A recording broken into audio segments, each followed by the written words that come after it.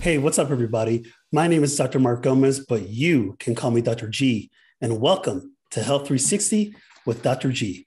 Today's topic having surgery, common procedures explained.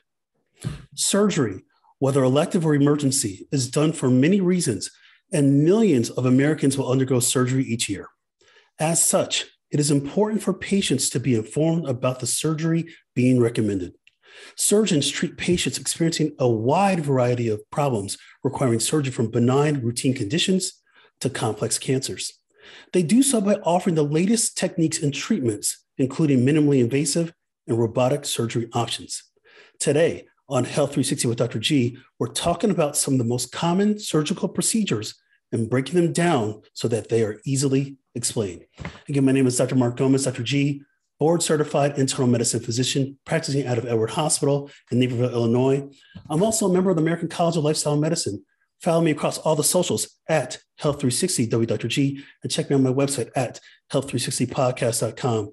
We have a great show for you today. Again, common procedures easily explained. I want you to grab your pen and some paper. I like this pen here, health360podcast.com, but something about when you write it down creates it to that, that mental, that mechanical memory, mind brain, and it helps us uh, helps us out to be the best versions of ourselves.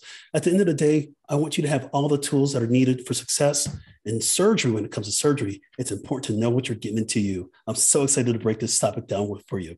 Now, I have an amazing guest before you meet him, though, let me hit you with a quick disclaimer. The content of Health 360 with Dr. G, a healthy driven podcast, is for your information and entertainment purposes only. The content is not intended to be a substitute for professional medical advice, diagnosis, or treatment. So we're going to get right after it, guys. I want to introduce my longtime friend and surgical colleague. Uh, just, just, it's just been such a journey that we've been on together. And when I came with this idea to do this show, I had to have him on. We've been talking about this for a while, y'all. So you guys are in for a treat. Let me introduce my friend, Dr. Peter Petratos, and let me read his credentials because his credentials run deep. Dr. Peter Petratos, MD, FACS, board certified general surgeon. He's a fellow of the American College of Surgeons. He's the medical director of trauma surgery at Edward Hospital. Dr. Petratos, welcome to the show, my friend. Dr. Gomez, uh, thank you so very much for uh, having me on the show and the opportunity to uh, share uh, some insights from a surgical perspective. Uh, phenomenal show. and It's just been a long time before we've uh, had the opportunity to get together, and it's honor and privilege to be here. Excellent, my friend. You know, every comic book hero has an origin story. Let's do it, my friend. Uh, give us medical school, residency, even why you went into surgery why this topic is so important to you. You know, one of the things I will say before you give that, you know, you're such a good master communicator. You're so good at explaining p- procedures to my patients and patients of other physicians. So that's another reason why I had to have you on. But you love teaching at the same time too. So give us a breakdown, medical school, residency, why you wanted to be a surgeon, and how you do this on a daily basis. Absolutely. Uh, my journey started, I uh, born and raised in Denver and I uh, was schooled through medical school uh, completed medical school at the University of Colorado Health Sciences Center. And after that, my residency took place at New York Hospital uh, Medical Center in New York City, uh, rotating through uh, Columbia and Cornell and many private hospitals uh, throughout New York City and working with some of the foremost professors of surgery and surgical education. Uh, after that, I came to the Chicagoland area 17, now almost 18 years ago. And my first job was a trauma and critical care surgeon at a local hospital in the suburbs. And ultimately, my path brought me to Edward Hospital approximately 18 years ago. And one might say, why surgery? Just like you ask. And ultimately, it's a calling, almost like the priesthood. I've said this since the very beginning. Uh, maybe some of our uh, younger readers can say uh, and, and, relate to, you know, Harry Potter's wand chose him. Surgery kind of chose me, but it's uh, the, the perfect uh, combination of everything that I enjoy about medicine the interpersonal connection, the science, the uh, technology that all comes together to make an immediate impact on someone's life and maybe uh, leave their world or even the world in general a little bit better than how I found it today. And that's been a guiding principle all my career. That is awesome. That's why we so get each other. And again, uh, for those that, that, don't know, again, Dr. Petratos, we go way back, and he's helped out so many patients of mine to guide them through their surgical conditions, their surgical diagnoses, and just to make sure that, again, at the end of the day, that they live healthy and fulfilling lives too. So thank you. So there you go, everybody. You met my guest, Dr. Petratos. Here's how the show works. I ask the questions. Dr. Petratos is going to give some awesome answers. I'll participate a little bit where I can, but again, we want this for you. This is for you out there. Those of you that are dealing with health challenges, those of you that have ever considered surgery or being advised surgery by your medical doctor, but again, to empower you with the right tools to know the questions to ask and know the procedures that you may end up getting yourself. At the end of the day, most of us will probably come across a surgeon at some point in our lives, but the more you know, the better off you'll be. So, Dr. Petratos, when somebody comes into the office, we call it the chief complaint, my friend. So, the chief complaint, AKA the situation in the hour, is this which are some of the most common surgical procedures performed in this country. Here we go.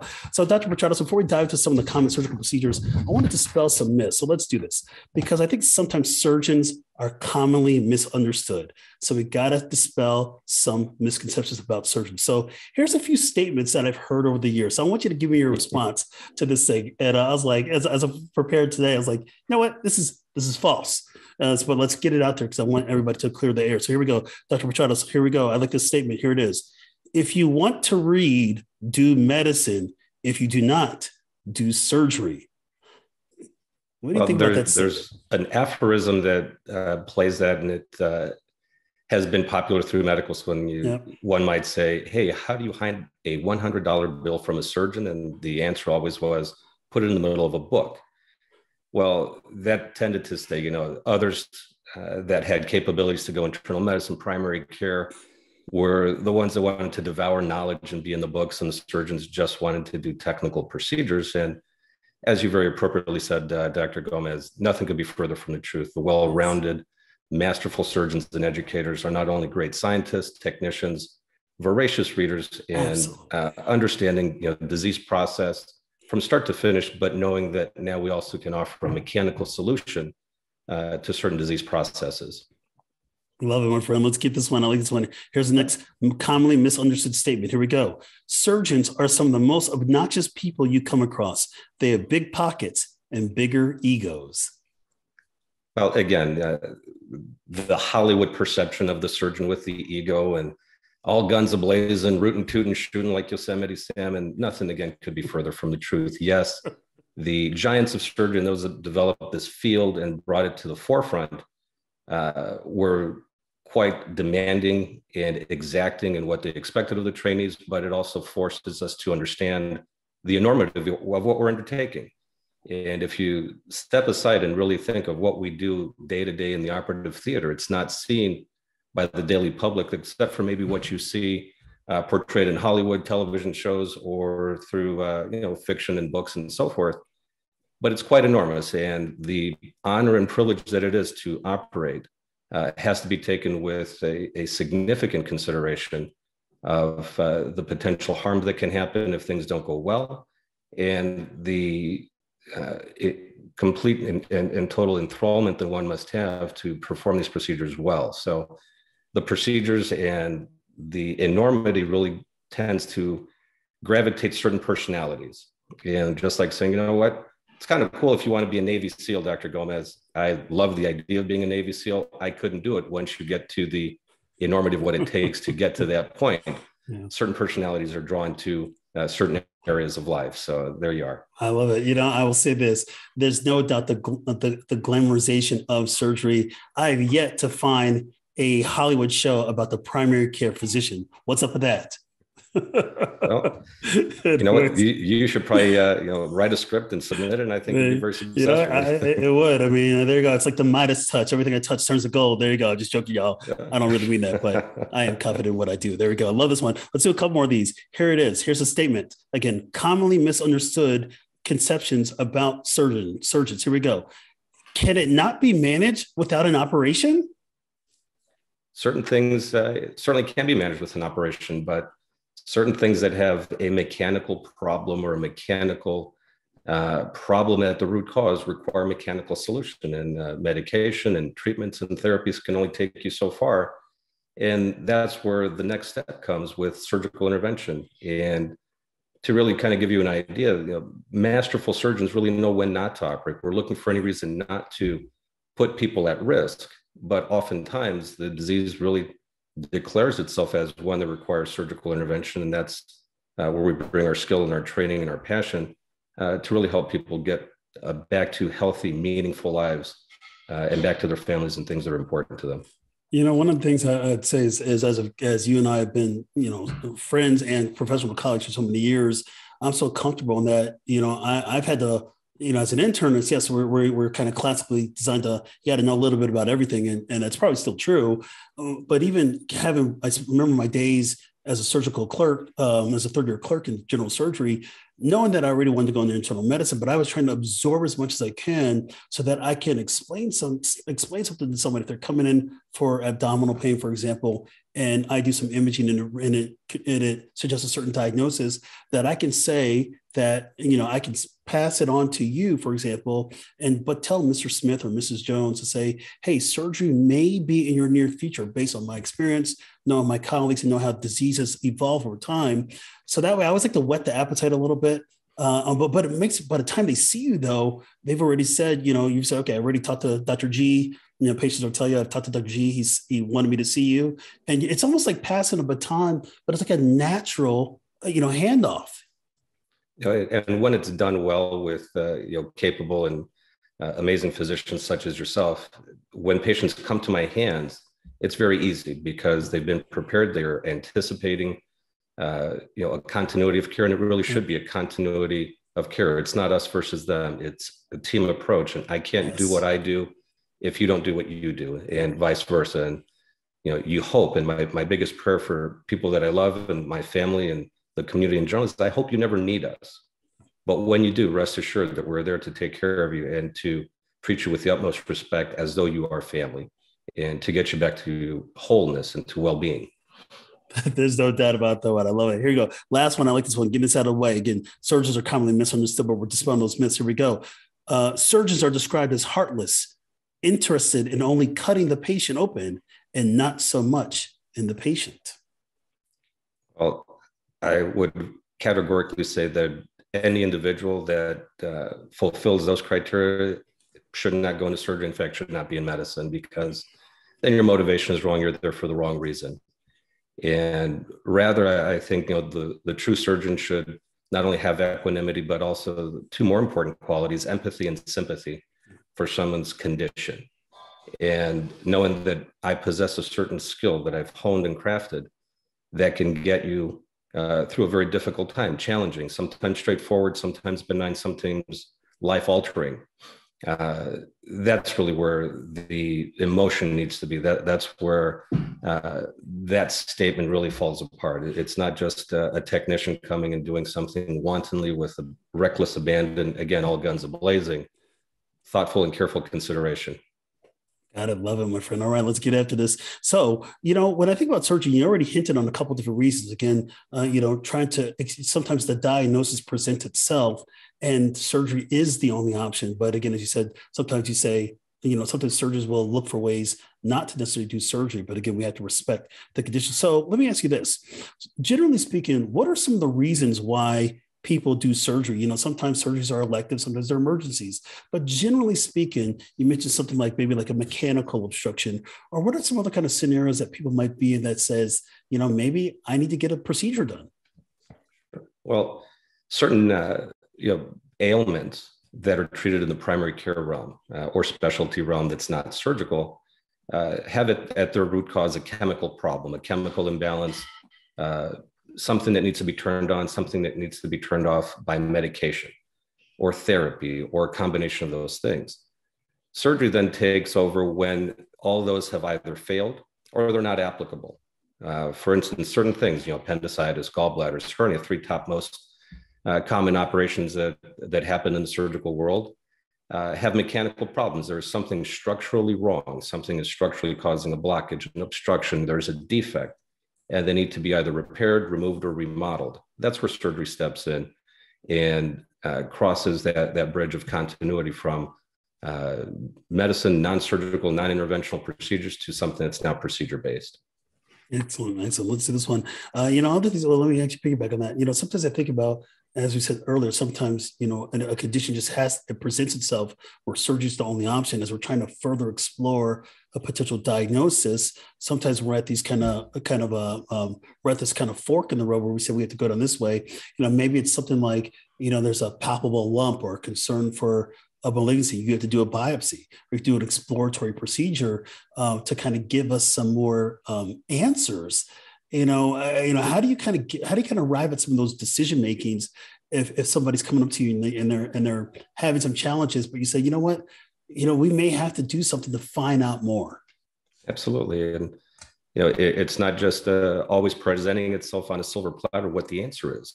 Gotcha. Uh, people come with a with a list of complaints and uh, it's the role of the surgeon and any physician to listen to those complaints and formulate an idea and a hypothesis of what's happening. Uh, in fact, one of the greatest teachers I had, a chairman of mine, said if you listen to your patients long enough, they will tell you what they need. Not necessarily medical words, but they will tell you certain things.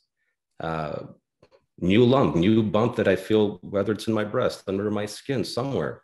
Well, I have to touch it, I have to evaluate it uh, use my judgment if i can't tell what this thing is well now we need you know tissue diagnosis and there's different modalities uh, that one can explore to you know identify that through tissue or there's imaging studies. And then as we gather more information then we realize again the process will reveal itself like a very good story. What's the logical next step? What's the logical next conclusion? That's the thought process uh, that goes into surgical decision making Excellent. Let me ask you this question. You know, I think about sometimes with the, you know, as we we are now 2022, uh, you know, we think about uh, learning from the past, but but trying to continue to come up with innovative ways to deal with health in the future. And and who knows, maybe you know, 50 years from now, 100 years from now, surgeons might come back and and physicians like us would say, uh, you guys managed it that way in 2022. What were you guys on? And, you know, so I think about it. So here we go. So here's the question. Uh, let's talk about the future a little bit. So uh, when we think about the future of medicine, and I'm going to do a quick flash. Uh, check out y'all episode 32 of Health 360 with Dr. G for more information when I discuss the future of medicine. But the future of medicine means close cooperation between humans and evolving technologies. So allow me to frame the frame the situation a bit more for the question. So with the rise of digital technologies, Dr. Petratos, the operating rooms and surgeons, you guys are inundated with new devices to presumably make the least amount of cuts and allow for the fastest recovery as possible. So we certainly need to deal with new surgical technologies to make people understand that they extend the capabilities of a surgeon, not necessarily be adversarial to a surgeon's uh, training and not replacing them. So, in your opinion, what does the future of surgery look like? Maybe take us out, you know, put on our hats, uh, prognosticating what does your job look like in 20 years from now, 30 years from now? Yeah, and you're still gonna be working. Just... I'm not gonna. I'm not gonna let you retire. You're gonna be working right with me. Yeah, I know we are, brother. We're going uh, all in. we're all in on this one. Amen. But I, I, think you know, just as you know, surgical knowledge, medical knowledge, since the time you and I were in school, has changed exponentially. Oh. Just the the nitty gritty. I can't keep up with uh, you know the innovation that's exponential these days. Uh, similarly, the interface of medicine and procedures, surgery, uh, interfacing with technology and evol- evolving uh, modalities. You know, forget other specialties such as interventional radiology, orthopedics, and uh, radiation therapy. They're amazing and monumental leaps and bounds forward. But in the surgical realm, if you think of the people that taught us, their therapies, their interventions were open traditional surgeries, things that we read about in the books, and yeah. the things that we all really enjoy. The anatomist comes to to picture where the the surgeon in the theater and everybody observing you know what is being removed replaced or repaired. And through my training we now saw the evolution of uh, minimally invasive techniques with advanced uh, optical imaging uh, engineering of uh, delivery devices or uh, tools that can uh, go through keyhole sized incisions and give you a robust amazing view three dimension four dimensional views high definition and that brought a new forefront to medicine, minimally invasive surgery, small cuts to what you say, or what I tell my patients, little keyhole incisions, big surgery on the inside. Uh, amazing. And even since that time, now we have robotics, the Da Vinci system, for example, uh, which I, I, use almost exclusively uh, for minimally invasive procedures. uh, now brings a, a, different level of complexity, elegance. And yes, it's great as an operator to say, I have this wonderful tool, but it translates to improved outcomes, elegant surgery, better tissue handling for the patient, less trauma. Now that enhances your recovery. So that's where we are now. And many of the people back that, that trained us would say, oh my God, that's a fad. It's going to go by the wayside. Many such individuals will be irrelevant because one must keep up with the technology. In the forefront now, you say, okay, artificial intelligence. Where is that going to interface with with surgery? Well, intelligent guidance for biopsy things that are in deep dark holes where you can't readily assess with today's technology. We'll get there. Uh, robotic learning, where you have uh, the capability of uh, computer programs and the intelligence to learn in real time over and over with repetition what the surgeon does, how they do it, and to recommend uh, for or against certain maneuvers that may pose danger or can identify in faster real time, better even than the human eye and human perception, uh, what is dangerous and what is not if there's confusion. Uh, those types of things will happen. And you know, it's never going to be autopilot. You still need the human interface. We're not going to be Star Trek. We're not going to be uh, to the point where you and I are completely removed. But these these uh, very amazing innovations yeah, will make our job easier. It'll make our jobs better, and it's all going to be for the benefit of the patients to cause less harm with greater good, less risk for more benefit. Beautifully said, my friend. So let's get into some of those common procedures. So here's how we're going to do this because uh, we want to get some of these common things going on. So I'm going to kind of say the procedure. And what I want you to do, Dr. Petrato, is maybe give us a general 30,000 foot view kind of explanation of the surgery, when the surgery may be necessary, how it's performed, um, and then how long the recovery take or maybe even how long the surgery takes and even things like how long does recovery before somebody gets back to their quality of life. So uh, again we're going to try to give you kind of the 30000 foot view. Everybody that's listening to here on health 360 with dr g joining here with uh, dr peter petratos talking uh, common surgical procedures. Here we go. Dr petratos appendectomy uh, give us a breakdown of appendectomy, my friend. Sure. Well, one of the most common uh, procedures performed in the world, and uh, you know, jokingly, we say uh, the appendix is there to keep surgeons up in the middle of the night. And uh, the uh, the evolution of appendectomy and even you know theories now going towards you know how one manages appendicitis is always at the forefront of medicine. But ultimately, it's removal of the appendix because it's infected. It, there's blockage of the appendix, so there's bacteria that overgrows. You get infection, and the symptoms you know very characteristic. Someone may say gee, I had some pain by my belly button. I really thought I was nauseated. I thought I ate something bad. It didn't get better. Through the day now, as I'm as I'm walking and moving, my right side hurts really, really bad. And I drove myself to the emergency room, and every bump in the road really made my right side hurt. That's a typical story, mm. uh, the classic vignette. Uh, so then you see me, you, will get some imaging studies in the emergency room or a good physical examination by your surgeon appendicitis. Now here we go. What's the surgical solution? Uh, two different methods. You know, the traditional open uh, surgical incision, where many people have had uh, an incision over the right side of, of, the lower abdomen, probably three finger breadths in width. Uh, the appendix is removed and the, the incisions are closed.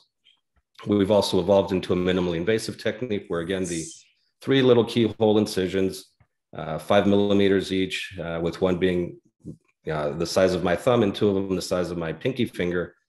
You go in with a high definition camera, remove the appendix with the benefit of looking through the rest of the abdomen and in real time, uh, you know, making an assessment of any other things that may be going on. Mm-hmm. The appendix comes out, three little keyhole incisions closed with skin underneath the uh, stitches underneath the skin, little glue or uh, some bandage tapes on the outside. And guess what? Most people, if it's straightforward, uh, you go home from the recovery room. So you wake up uh, from surgery, you go home, you sleep in your bed, uh, and you recover. Occasionally, the uh, the disease presents a little bit further along, and uh, you have more advanced disease. So maybe some spillage of the appendix, rupture of the appendix, mm-hmm. and now you spend some time in the hospital for antibiotics to assure that the infectious process is under control uh, before we send you home and from this little operation, people always want to know if it's a, a younger uh, patient population. When can I get back to school? When can I do my sports? When can I drive? Mm-hmm. Older folks uh, might want to. When do I get back to work? When do I resume my life? And again, these are generalities, but one could expect within a week you can get back to normal, full participation in day-to-day activities. Maybe some soreness, maybe a little pain medicine requirement that's over the counter in variety. Uh, drive your car three to five days later and then some contact activity restrictions just based on personal comfort. So if all goes well, the disease is caught early enough, uh, back to normal life uh, within a week or two. Uh, in all, in the best case scenario. I love it. Here we go. Let's do this next one. I'm skipping around here. I like this one. Let's do uh, Break right, it down well, for us. Gallbladder surgery. Dr. Yeah. G, you know, you're hitting among the top three operations. Next one's going to be hernia, probably. But, it sure is. Uh, you just read me, brother. We've been around each other. I know we have too much. Uh, Love it. But uh, cholecystectomy is uh, removal of the gallbladder. And then uh, why would one need to do that? Well, the chemicals within the gallbladder are like a, a chemistry experiment. Three chemicals, when they're not in good proportion, uh, it's as though you we've all made sugar on the uh, on the mason jar on the windowsill in the summertime. You put too much sugar and a little bit of water, you get crystals after a few days. Well, that's a very rudimentary idea of how gallstones uh, develop. They're cholesterol stones within the gallbladder, and when they cause blockage of that gallbladder, then you need surgery if there's infection or recurrent symptoms. Uh, one might ask also, well, everybody with gallstones needs surgery? And the answer really is no. In fact, uh, on the order of 17 to 20% of the people in this country have gallstones. So uh, 20% of the people, let's make that very simple, one out of every five people. 1% of those people per year will require surgery for their gallbladder based on symptoms, infection, whether it's acute, whether it's ongoing, recurrent pain. Uh, what's the, what are the typical symptoms? Well, let's say, gee, after a, a, meal of fatty, greasy fried food or some dairy products, uh, think cheeseburger, think pizza, think uh, Italian beef from the local uh, famous guy down the corner. And then you get pain. Pain's in that right side of the abdomen. Maybe it wraps around to your back, goes into your shoulder. This is a tip off to the surgeon that maybe your gallbladder is causing an issue. And if there's infection and fever and other things, you end up in the emergency room or in an urgent situation where you need your gallbladder out pretty quickly. Uh, four keyhole incisions again. Uh, one by your belly button that's about as wide as two thumbs, and three incisions under the right side of your ribs, each the size of your pinky finger. Uh, about an hour operation if everything is smooth, uh, straightforward, and there's no other complications. Again, about an hour of operation, home the same day from the recovery room. Similar recovery to appendicitis, you know, with these incisions, about a week of uh, debility, returning to work, heavy lifting is on the order of two to four weeks of limiting uh, restrictions for uh, exertion, contact activity whenever you feel ready, and uh, we go from there.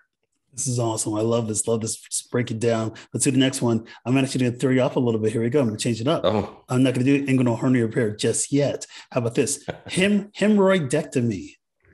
Hemorrhoids. So uh, wait, wait, we got to talk about the we got to talk about, about the butt. Absolutely. The butt, the butt, the butt, the uh, booty. Because guess what? It, it's uh, it's an unsavory conversation. It's uh, uh, a taboo conversation, for example, yeah. and maybe some people it's just embarrassing to talk about. But it's a part of what we do. Is uh, in medicine and in surgery, we take care of you from uh, from your mouth all the way to your bottom, yeah. and everything in between. And uh, this is just another extension, and can be very very debilitating problems, frustrating, socially limiting extremely painful in certain cases. Uh, let's break that down a little bit further, uh, Dr. Please, Gomez. We have do. internal or external hemorrhoids where these uh, abnormal blood vessels uh, become dilated for different reasons where they can occur. If they're on the outside skin, the traditional, what you think, the lump on your bottom uh, that's painful, it hurts, maybe it ulcerates, maybe it causes problems, those are the ones that need to be removed by surgery. And that involves general anesthesia and incision around that uh, clotted blood vessel to remove it, and then you stitch it closed. The recovery there uh, can be quite uncomfortable if you imagine a very sensitive area that now has uh, undergone surgery, tissue damage, tissue trauma. Now you have stitches in the area. Well, your body's going to swell. It's going to react to that trauma. So you anticipate it'll uh, longer time to recovery, maybe a week or two of discomfort. The first few days, very uncomfortable to the point where I even uh, kid with my patients, I say, if you see me in the grocery store, you're going to want to run me over with the buggy because it hurts so much.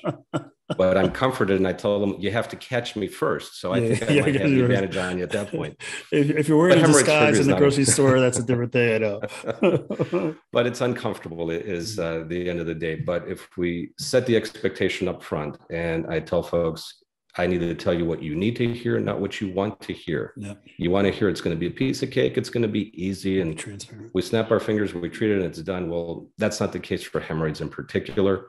Uh, expectable prolonged pain, maybe some discomfort, drainage, bleeding afterwards, but eventually you get to a point where everything heals and everything is just fine, and you get back to leading a normal life within a few weeks to you know maybe about a month. Uh, the internal variety, painless rectal bleeding uh, is an internal hemorrhoid till uh, proven otherwise. And uh, people may also say, gee, I, have been constipated. I strain when I sit in the washroom. Uh, I sit for a very long period of time, either doing the New York Times crossword puzzle, the Sudoku, reading my book. Uh, please don't do that. That's a behavior that uh, you know predisposes us to those things, as is any kind of straining. But when you do get the painless rectal bleeding, oftentimes we can treat those within the office uh, with just rubber bands and a small injection of chemical that causes scar tissue. It's very well tolerated, much less painful because those hemorrhoids occur above uh, the area in the anus where the nerve bearing skin is. So it's almost painless. Uh, quicker recovery. We uh, treat those uh, one location every two weeks. So typically four visits to get everything uh, accomplished for you. Wonderful. Let's do it. Let's so let's do a couple more. This is so awesome. Again, we're breaking down common surgeries and here with Dr. Petratos on Health 360 with Dr. G. We can't cover all surgeries, but we're trying to get some of these common ones into. So I like this one. Um, now I'm coming to it, my friend, inguinal hernia repair. Absolutely, and you know the the bread and butter of general surgery is uh, the inguinal hernia anatomy. The uh, the process and the repairs have gone through so many uh, evolutionary changes since the very first uh, historical descriptions of repair. But let, us go back further. What is what is a hernia? And in the simplest terms, it's a hole in the wall. It's a defect, whether it's something that you're born with or something that you uh, acquire over a lifetime of stress, strain, and uh, just mechanical wear down of uh, the abdominal wall. Uh, three different areas within the groin that uh, the hernias can occur. They're called direct, indirect, or femorals. That's not uh, technically important for uh, the viewership at this point, but the principles of repair are rather similar. Uh, hernia repair started initially as just tissue repair, which meant an open incision about three or four finger breadths wide over your groin, and the hernia was uh, placed, the contents, you know, placed back into the abdomen where they belong, and the surgeons would take muscle and tissue and stitch it back together and make a repair. Uh, there's some pain and discomfort with those procedures, and those procedures evolved now to tension-free repairs with uh, you know, a woven fabric called mesh that's placed into the area of defect to reinforce the body's tissues, to uh, cause scar tissue to happen, and to cause a, a good reinforcement of that area uh, to make a long, uh, a long-lasting, durable repair. Wonderful procedures that now evolved to the next level. We have minimally invasive approaches to those procedures, whether laparoscopic or robotic. And again, three little keyhole incisions where now your tissue handling is more uh, elegant, less tissue damage, uh, less swelling, less bruising, quicker return to recovery, uh, excellent outcomes. Again, placing mesh in the area to reinforce the defect in the abdominal wall. And another misconception patients always come with, well, my goodness, I, I've seen the billboards by the airport and I've heard the commercials on the far side of the cable channel in the middle of the night. Mesh is terrible. Well, as with everything, there's no absolute statements. And there are some products that had some difficulty in the past that are no longer available. And we tell patients, uh, especially hernia repair, standard of care is with a reinforcing mesh to decrease the likelihood of recurrence, increases the durability of that repair and a properly selected mesh placed appropriately uh, will serve the patient very well for, again, good, efficient, long term return to longevity and their day to day activities that uh, bring them pleasure. Wonderful. Let's do one more of these because this has been awesome. Uh, I want to I want to get to one more of these, and I want to get to a special game that I've come with you for Dr. Petratos. But here we'll do this last one. We'll try to keep it as simple as possible, but briefly, um, um, mastectomies. Uh, we hear about mastectomies all, a lot of time when we're working up someone with a confirmed diagnosis of breast cancer uh, and trying to figure out how do you approach that. Let's give a can you give us a brief overview about mastectomies? Absolutely. we don't have to get to like super particular detail but maybe just a brief overview of what a mastectomy is and and what to maybe expect. Now there, there's different uh, degrees uh, of uh, surgical intervention for breast disease. So we, we can say if there's benign non-cancerous disease that requires surgery uh, often that can be done with a partial mastectomy or what may also be uh, referred to as a lumpectomy a small portion of the tissue that uh, contains the, you know, some abnormal growth is removed through a small incision and, uh, you know, affords the ability for either diagnosis, cure, or improvement in the quality of life.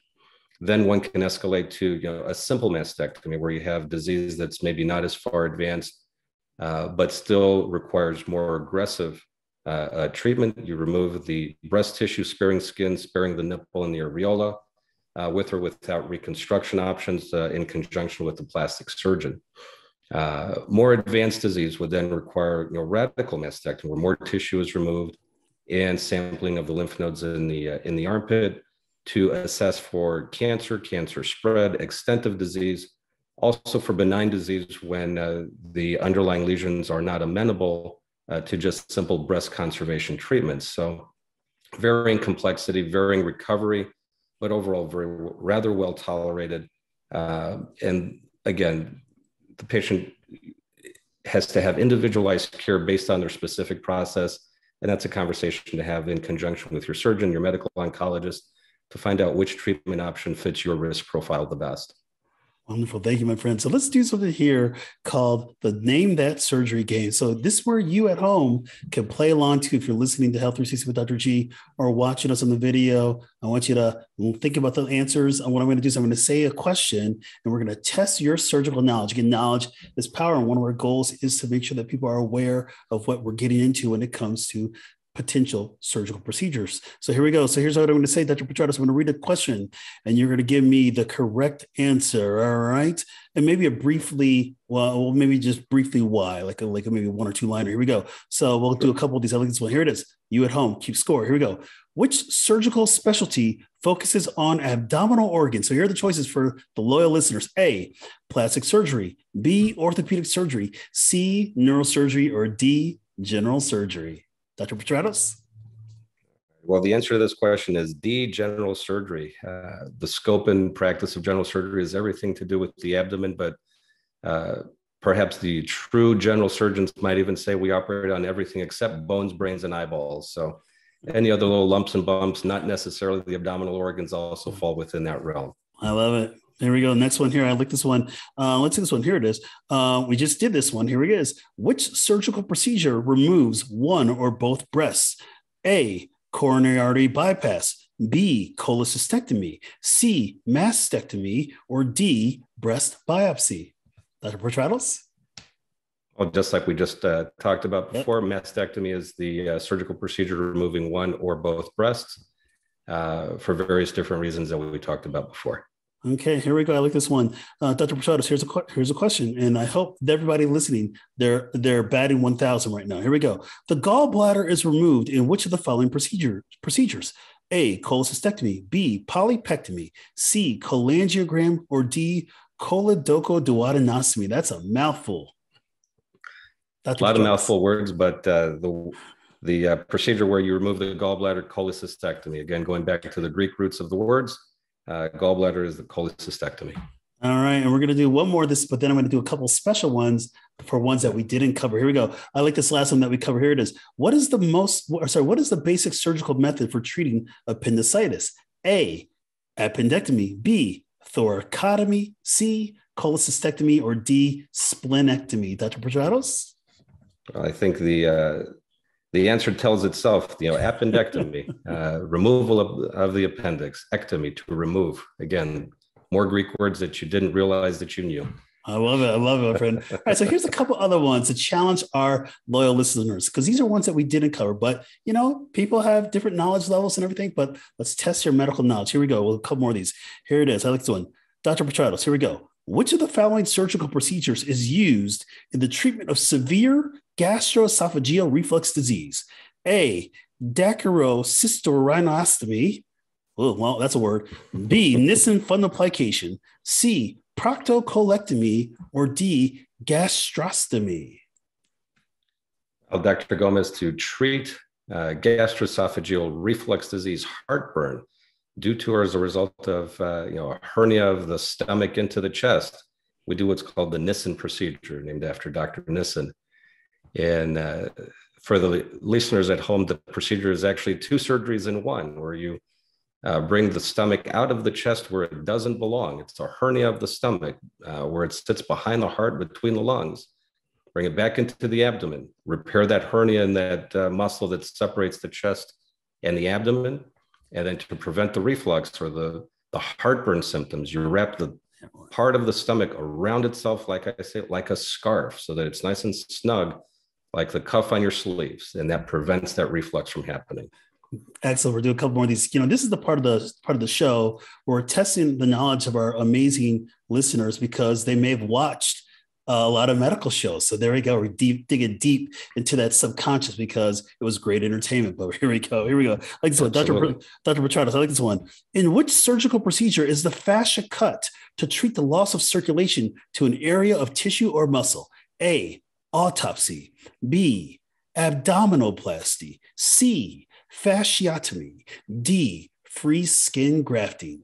Which one, Dr. Petratos, for our loyal listeners? Well, the fascia is cut, as one might surmise, in a fasciotomy, the cutting of the fascia.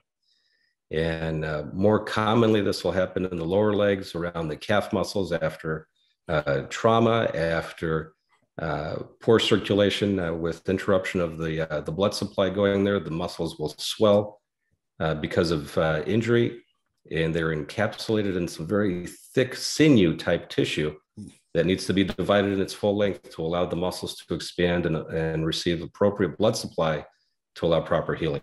All right, let's do two more of these. I like this one.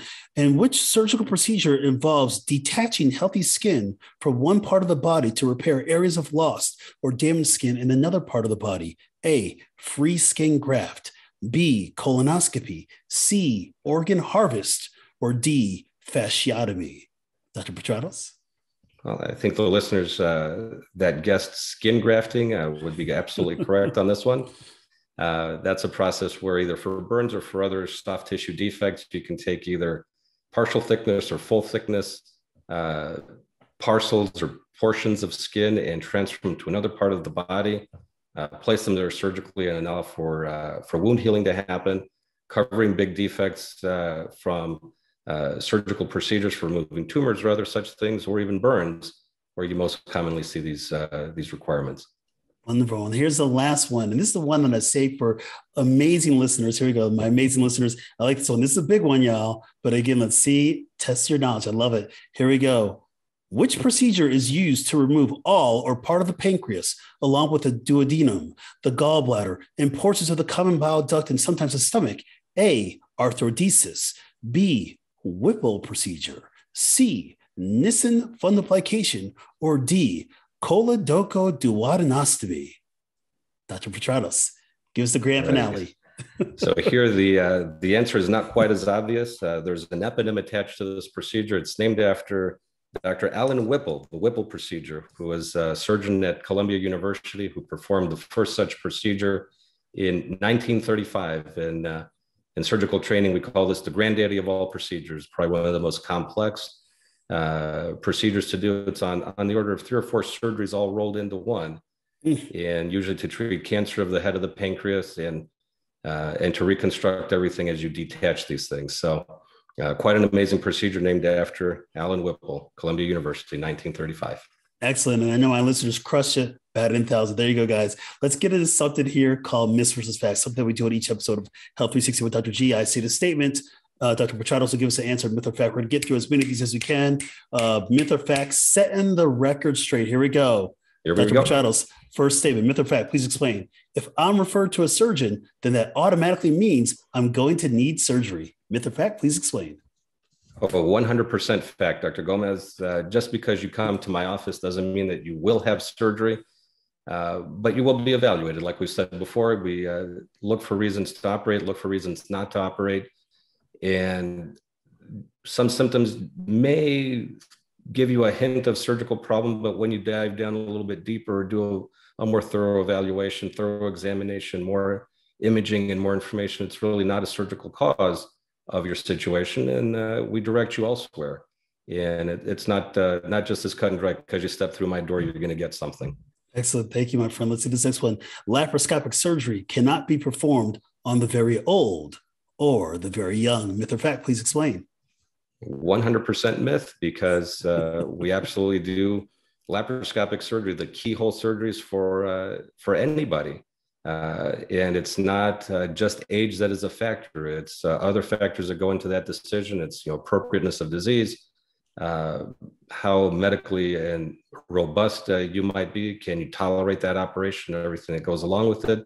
Is it the right operation for you? So anybody and anybody can be a candidate for laparoscopic surgery. All right, here we go. I like this one. Surgery cannot be performed on the elderly. Myth or fact, please explain.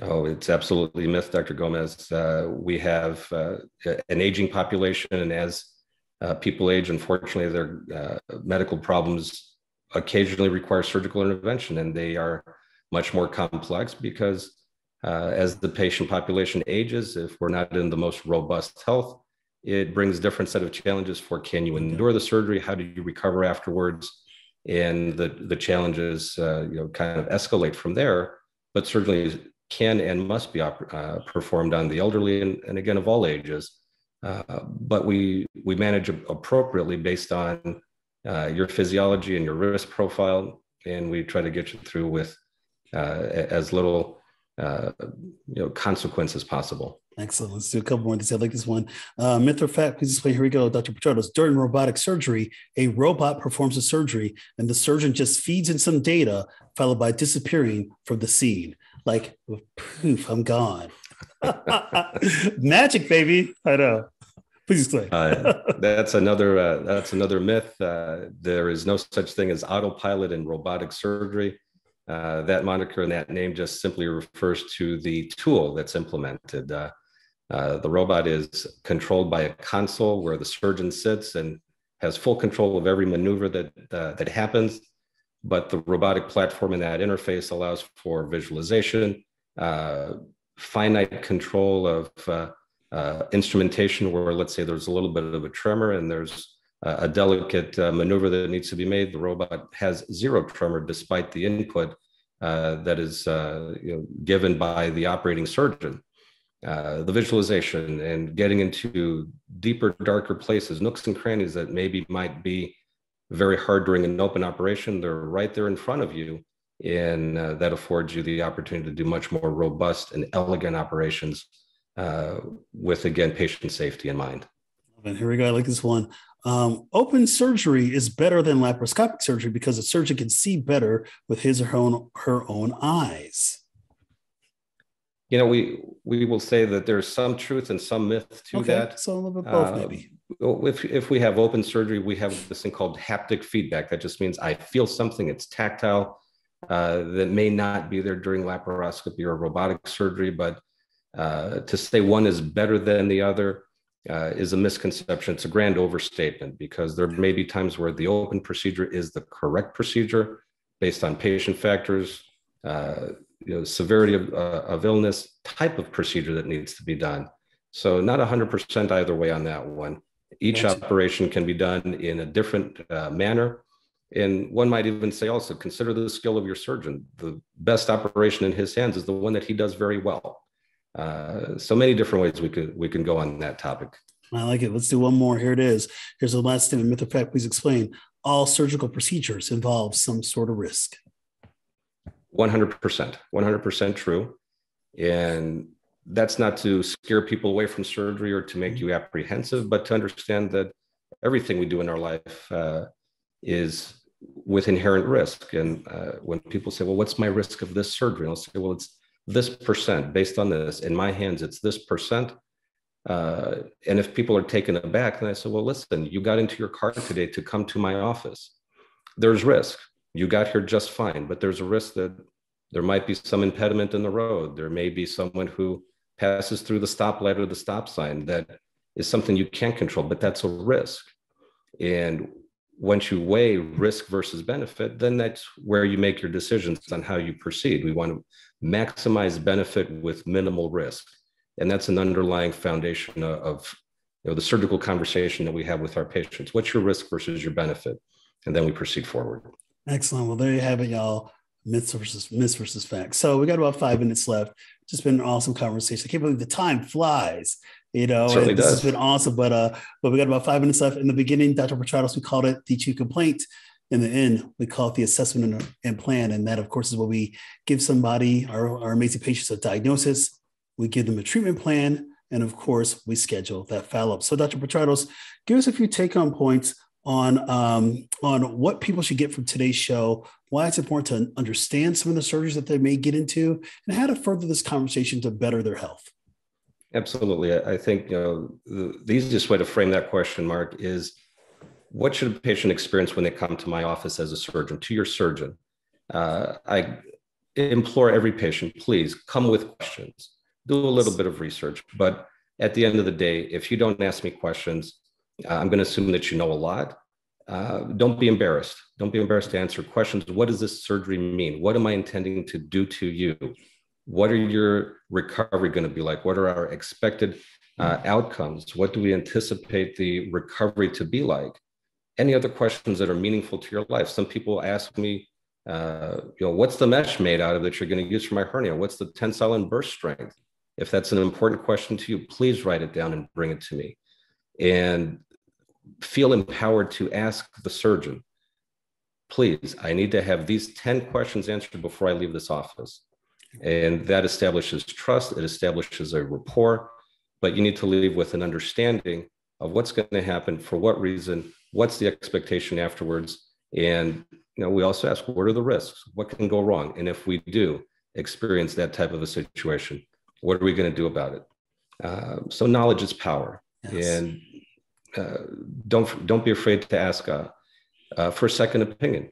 Uh, if you feel that you know the conversation left you, you know, wondering, well, gee, what what would be different if I went to the university downtown?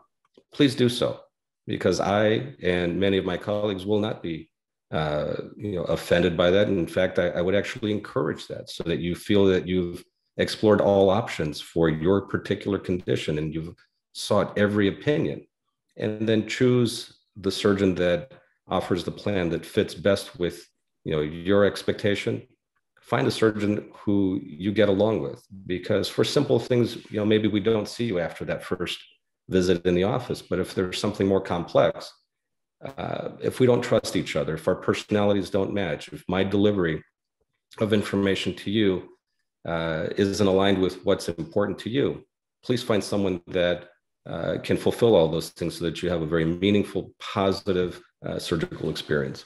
Wonderful. Well, thank you, my friend. It's been so awesome. Before we get to my final thoughts, I want to do a section here on Health 360 with Dr. G called The Listener Healthy Oh Yeah Content. So here's a quote from loyal listener AK. Here it is quote, My goals are different each day. Well, I tell you what, AK, that's great for you. You know, keep being inspired, keep challenging your body, keep supporting and keep giving yourself self love to make sure that you're on this journey for complete health success. Change it up. You, know, you never know, it might help out. So, again, thank you, AK. And you know, everybody out there, I genuinely enjoy hearing about your journey. With your permission, of course, I will read it on the show. Simply message me across all social media at Health360, W.G. And who knows, your story may be a catalyst for someone else who needs to hear it. So, my final thoughts are this when it comes to undergoing surgical procedures, as most of us will have some sort of intervention done in our lifetimes, the more you know, the better off you will be when it comes to understanding your health. The goals of surgical patients and surgeons themselves are mutually aligned to offer timely treatments to a particular diagnosis and to ensure optimal well being. Believe me, your general surgery experts are passionate about what they do, are voracious readers about health, and are immensely skilled at the procedures that they perform. They want patients to live active and healthy lifestyles too. So I want to thank my guest, Dr. Peter Petratos, board certified general surgeon, fellow American College of Surgeons, medical director of trauma surgery at Edward Hospital. Dr. Petratos, thank you, my friend. Dr. Gomez, it's been uh, an honor and a pleasure to uh, to share my thoughts on this wonderful show. Uh, keep up the uh, phenomenal, great work that you're doing. Thank you. And you've been listening to and watching Health 360 with Dr. G, healthy driven podcast. This episode is written by Mark D. Gomez, MD, and Tiffany E.R. Gomez. Producers are Tiffany E.R. Gomez and Sarah Zwack. Audio and video production specialist is Mike Paskey. Copyright 2022, Edward Elmhurst Health. All rights reserved. For more awesome health information, visit me at health360podcast.com and follow me across all social media at health360 W Dr. G. This is Dr. G signing off. And until next time, peace out.